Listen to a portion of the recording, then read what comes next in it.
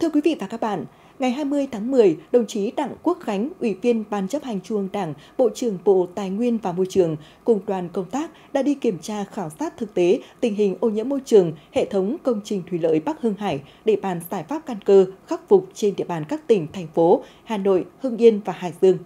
Tham gia cùng đoàn công tác có lãnh đạo Ủy ban Văn hóa Giáo dục của Quốc hội, Cục Cảnh sát phòng chống tội phạm về môi trường, Bộ Công an, lãnh đạo các tỉnh, thành phố Hà Nội, Hưng Yên, Bắc Ninh, Hải Dương.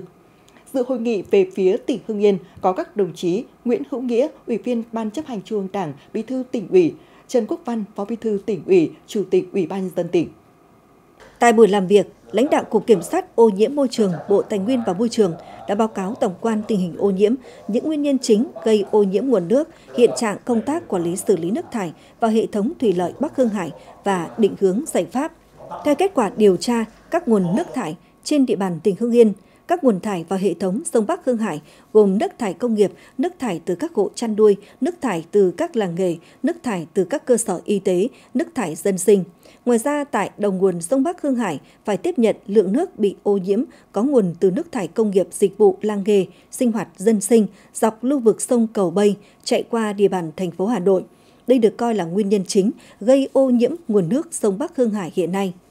Từ năm 2022 đến nay, tỉnh Hưng Yên đã chỉ đạo thanh tra kiểm tra và đã xử phạt vi phạm hành chính về bảo vệ môi trường đối với 318 tổ chức cá nhân với tổng số tiền gần 17 tỷ đồng. Tại buổi làm việc, đại diện lãnh đạo các tỉnh, thành phố Hà Nội, Hưng Yên, Hải Dương, Bắc Ninh, Ủy ban Văn hóa, Giáo dục của Quốc hội cùng các bộ Công an xây dựng, Nông nghiệp phát triển nông thôn, Công Thương đã báo cáo về công tác quản lý chất lượng và sử dụng nguồn nước đối với hệ thống thủy lợi Bắc Hưng Hải. Đồng thời cùng nhau thảo luận trao đổi bàn giải pháp khắc phục tình trạng ô nhiễm tại đây. Phát biểu tại buổi làm việc, đồng chí Chủ tịch Ủy ban nhân dân tỉnh Hưng Yên Trần Quốc Văn nêu một số giải pháp của tỉnh Hưng Yên trong bảo vệ môi trường hệ thống thủy lợi Bắc Hưng Hải như tuyên truyền vận động, nâng cao ý thức trách nhiệm bảo vệ môi trường, tài nguyên nước trong cộng đồng, triển khai có hiệu quả đề án thu gom, xử lý nước thải sinh hoạt khu dân cư nông thôn, thẩm định chặt chẽ về môi trường các dự án đầu tư, kiên quyết từ chối tiếp nhận các dự án có nguy cơ gây ô nhiễm môi trường cao, tiếp tục quan trắc chất lượng nước sông Bắc Hưng Hải và các dòng sông kênh, giám sát, kiểm soát chặt chẽ, lấy mẫu quan trắc chất thải đối với các cơ sở có phát sinh lưu lượng nước thải lớn, thanh tra kiểm tra về bảo vệ môi trường trên địa bàn. Ở đây doanh nghiệp chúng tôi cũng kiểm tra rất gắt cao và cùng với cục cảnh sát môi trường thì tôi cũng phải đề nghị thế này nếu như mà cứ kiểm tra mà phạt hành chính mãi mà cái gì nó cứ thế thì cái nhờn thì bằng cái tiền phạt đấy anh ạ. Và cái tiền xử lý môi trường nó rẻ hơn nhiều. Thôi rằng cứ lập hành chính còn hơn thì có nghĩa là cũng đề nghị bộ tài nguyên môi trường nghiên cứu chính sách cơ chế làm sao nó rất là rõ các phạt nặng. Tại sao nước ngoài họ sợ thế? Tức là không ra vì cái phạt xử phạt của họ rất là nặng rất là nghiêm. Một hai lần họ cũng hình sự hóa đấy. Không phải không vì người ta bảo vệ môi trường rất là tốt. Lần một này lần hai này lần ba thì cuối cùng lần thứ tư là phải chuyển sang hình sự anh là vì anh phá hủy tức là phá hủy môi trường. Đều cái tội đấy chứ không phải tội ô nhiễm môi trường. Thì cái đó thì cái đây là quản lý vĩ mô nhà nước thì chắc là địa phương không làm được. Chỉ có mỗi bộ tài nguyên môi trường rồi bộ công an các anh trên đó xây dựng một cái quy chế một cái nghị định đó. Thì thiết nghĩ là như vậy. Bởi vì doanh nghiệp thì ta xử lý bằng cách đó người dân thì thu gom xử lý đó. Nhưng mà tiến tới thì có một nội dung nữa. Thì tất nhiên là cái mình cái thu gom đó cũng là tốt rồi. Nhưng mà để bảo nó sạch sau này nó sạch. Như là nước Nhật ấy, thì cũng phải có một cái cơ chế chính sách là cho doanh nghiệp để xử lý cái đó và thu phí giống như là cái tiền nước ấy nhưng nó là lâu dài chứ ngay một lúc chắc khó khăn Phát biểu tại buổi làm việc, đồng chí Bí thư tỉnh ủy Hương Yên Nguyễn Hữu Nghĩa nhấn mạnh, bảo vệ môi trường là nhiệm vụ chính trị, đòi hỏi sự vào cuộc của cả hệ thống chính trị. Về phía tỉnh Hưng Yên, trong thời gian tới sẽ xây dựng và triển khai thực hiện các chương trình đề án chuyên đề về bảo vệ môi trường hệ thống thủy lợi Bắc Hưng Hải. Đồng chí kiến nghị với Bộ Tài nguyên và Môi trường thành lập ban chỉ đạo có sự phối hợp liên ngành, liên địa phương với quyết tâm lớn, bố trí nguồn lực để xử lý ô nhiễm đang tồn tại và ngăn chặn các nguồn ô nhiễm mới phát sinh.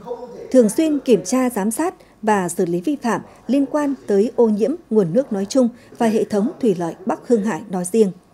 Tôi nghĩ là chúng ta phải có một cái đề án phải căn cơ các giải pháp. Sau cái đề án đấy nó tổng thể các giải pháp chúng ta xây dựng kế hoạch. Thì nhất định kế hoạch đây nó phải có lộ trình và trách nhiệm của từng bộ ngành, từng địa phương một. Không phải là cam kết mà đây là nhiệm vụ chính trị giao cho các anh các anh phải thực hiện. Ví dụ như Hưng Yên đến 31 tháng 12 năm 2025 là phải thu gom xử lý được cái nước thải sinh hoạt ở các khu dân cư tổ dân phố xả thải ra ít nhất là đạt cột B thì mới được ra được môi trường được cái thứ hai nữa là phải thành lập một ban chỉ đạo. Đây là vấn đề rất lớn, rất phức tạp. Có liên quan đến trách nhiệm của nhiều bộ ngành thì cái này nó đúng theo quy định về thành lập ờ, ban chỉ đạo để giải quyết những vấn đề liên ngành, liên địa phương và liên vùng. Thì chúng ta nên thành lập một cái ban chỉ đạo hoặc là đồng chí bộ trưởng bộ tài nguyên môi trường sẽ là trưởng ban chỉ đạo và chủ tịch ủy ban nhân dân tỉnh là các đồng chí phải tham gia vào đây. Bốn cái địa phương này phải tham gia vào đây thể hiện một cam kết rất mạnh và trách nhiệm chính trị rất cao của quyết tâm rất lớn thì mới có thể giải quyết được. Bây giờ phải có một cái thiết chế để tổ chức thực hiện trên cơ sở một cái đề án rất là bài bản được chính phủ được thủ tướng chính phủ phê duyệt. Định kỳ 3 tháng một lần bây giờ có, có kế hoạch như nói đề án ra này có kế hoạch phân công trách nhiệm và lộ trình triển khai từng nhiệm vụ cụ thể. Nào cứ 3 tháng một lần cái ban chỉ đạo này họp kiểm điểm đánh giá tiến độ các anh thực hiện đến đâu nó phải thế. Lần này ta phải có quyết tâm rất lớn thì mới làm được, chứ không lại quay về như cũ thôi. Kết luận buổi làm việc, Bộ trưởng Bộ Tài nguyên và Môi trường Đặng Quốc Khánh yêu cầu sự vào cuộc sâu sát hiệu quả, sự phối hợp chặt chẽ của các bộ ngành địa phương trong bảo vệ môi trường hệ thống thủy lợi Bắc Hương Hải. Thông qua cuộc khảo sát và buổi làm việc này, Bộ Tài nguyên và Môi trường sẽ tổng hợp các ý kiến nghiên cứu đề xuất với chính phủ xây dựng đề án về xử lý kiểm soát ô nhiễm môi trường hệ thống thủy lợi Bắc Hương Hải. Đây là cái cả thành phố Hà Nội cùng với tất cả các tỉnh cùng tham gia cùng được vừa ờ, tham gia ờ, ờ, cho tức là cái nguồn thải vào cái này phải có trách nhiệm. Có nghĩa rằng là ví dụ như một địa phương làm mà các địa phương khác vẫn không hết sức không trách nhiệm và không quan tâm thì chắc chắn rằng là chúng ta không hiệu quả không triệt để để có cơ chế chính sách trong cái chỉ thị và đề nghị rằng là nghiên cứu xem xét một cái dự thảo một cái đề án để báo cáo với chính phủ và thủ tướng chính phủ. Tổng thể. Đấy, trong này tuần đợt tới là chuẩn bị bấm mà qua thông qua luật tài nguyên nước cái này. Có mấy việc mà ông chí đề xuất là khi luật tài nguyên nước mà có hội bấm đồng ý là thứ nhất là có cái uh, hội đồng ờ, lưu vực sông đúng không? Quản lý luật phơ rồng cái này là rõ này. Cái thứ hai nữa là phục hồi nguồn nước này phục hồi các dòng sông chết. Cho nên đợt này mà bấm cái luật tài nguyên nước sửa đổi là rất nhiều nội dung mà chính luật tài nguyên nước mà bộ tài nguyên đang trình mà quốc hội chuẩn bị bấm nút đấy chính là những từ những thực tế thế này đấy là cái thể chế đấy là chính sách mà chúng ta phải làm Trước mắt, đồng chí Bộ trưởng Bộ Tài nguyên và Môi trường đề nghị các địa phương đơn vị chuyên môn xây dựng mạng lưới quan trắc nước mặt hệ thống thủy lợi Bắc Hương Hải và duy trì quan trắc thường xuyên, kiểm soát các dự án đầu tư, khu sản xuất phải có hệ thống xử lý nước thải đạt tiêu chuẩn. Đồng thời, đẩy mạnh tuyên truyền vận động người dân doanh nghiệp nâng cao ý thức về bảo vệ môi trường nói chung cũng như môi trường hệ thống thủy lợi Bắc Hương Hải nói riêng.